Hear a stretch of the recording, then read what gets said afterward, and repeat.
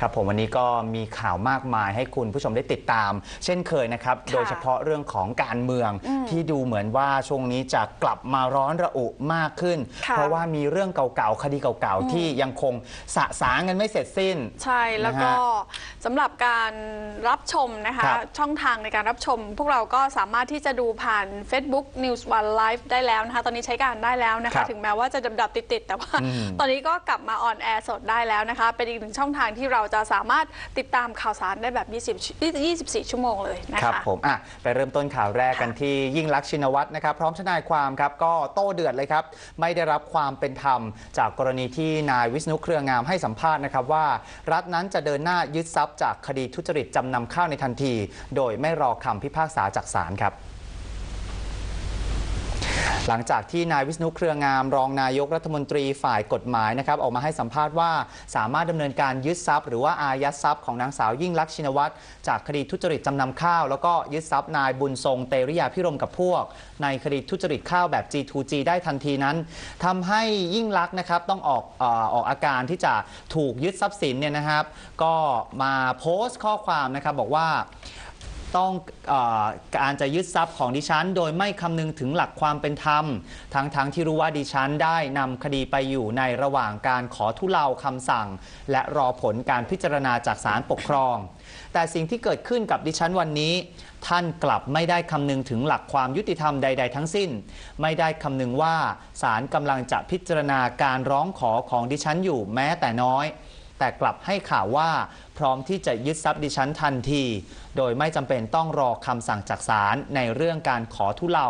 คำสั่งการอของศาลปกครอง และหากศาลมีการทุเลาการบังคับคดี ค่อยถามอีกครั้งว่า นี่หรือนักกฎหมายของรัฐที่เพียรพูดว่าจะคำนึงถึงความยุติธรรม และเป็นกลางกับทุกฝ่าย แล้วอย่างนี้จะหวังให้ผู้เป็นรัฐบาล ยุติธรรมกับผู้อื่น ในยามบ้านเมืองต้องการเห็นความปรองดองแบบนี้ได้หรือ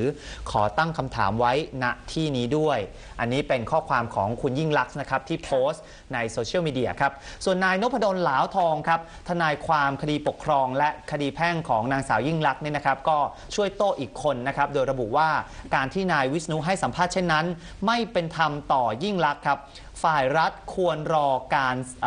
การคำสั่งของศาลก่อนนะครับ ทั้งนี้ครับก็ได้ยื่นคำแถลงเพิ่มเติมให้ศาลปกครอง ได้รับทราบถึงพฤติการของฝ่ายรัฐแล้ว 2 ฉบับครับ เพื่อให้ศาลได้ทราบถึงพฤติการการกระทำแล้วก็การแถลงข่าวของนายวิษณุด้วยครับ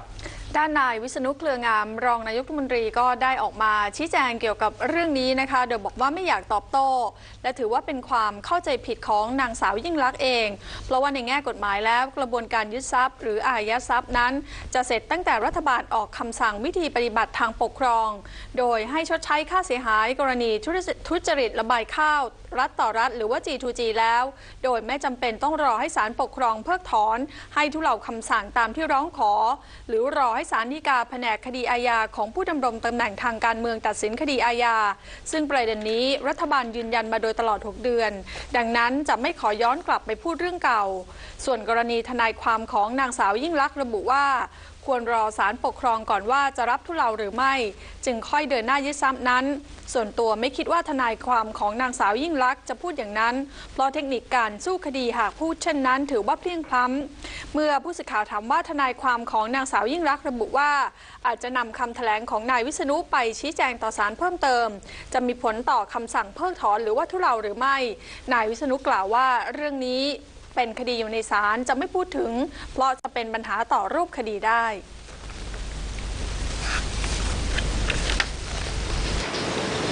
ผู้ถูกคำสั่ง ก็ไปร้องต่อศาลขอให้เพิกถอน นั่นก็แปลว่าเพราะว่ากระบวนการมันแล้วเสร็จใช่ไหมล่ะก็ถึงได้ไปร้องขอให้เพิกถอนได้ หรือร้องขอให้ทุเลาได้ ก็นั่นก็แปลว่ากระบวนการมันแล้วเสร็จถ้าไม่แล้วเสร็จมันก็ไม่มีอะไรจะไปทุเลาไม่มีอะไรจะเพิกถอน ก็มันยังไม่เสร็จ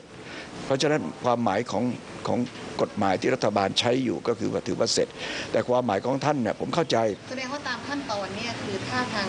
อ่าศาลปกครองบอกให้ไม่รับนี่คือสามารถอายัดทรัพย์ได้เลยเหรอครับไม่ต้องรออ่าศาลฎีกาแผนกคดีอาญาผู้ดำรงตำแหน่งทางการเมืองใช่ไหมใช่ครับเราได้พูดอย่างนี้มา 6 เดือนแล้ว มันจำเป็นต้องรอไหมครับ ตามกระบวนการ ผมไม่คิดว่าเขาจะพูดอย่างนั้นนะคุณอาจจะแปลผิด อาจารย์ทนายคะความก็คือเหมือนกับว่าในเรื่องของกระบวนการเพราะเทคนิคในการสู้คดีเขาจะไม่พูดอย่างนั้น อาจารย์คะคือจะพูดอย่างนั้นนะเปรี้ยงปล้ำแล้วล่ะ นอกจากนี้นายวิษณุยังได้กล่าวถึงความคืบหน้า กรณีการแก้ไขรัฐธรรมนูญฉบับประชามติว่า ขณะที่เจ้าหน้าที่สำนักอารักษ์ได้เขียนลงในสมุดไทยเรียบร้อยแล้ว จากนั้นจะรายงานให้นายกรัฐมนตรีทราบ ก่อนที่จะมีการบัญชาให้ส่งไปที่สำนักงานราชเลขาธิการ ซึ่งก็คือการทูลเกล้าถวายขึ้นไป แต่ไม่ต้องเข้าเฝ้าส่วนจะเป็นวันใดก็แล้วแต่นายกรัฐมนตรี แต่ต้องเป็นภายในวันเสาร์ที่ 18 กุมภาพันธ์นี้ จะเป็นวันสุดท้าย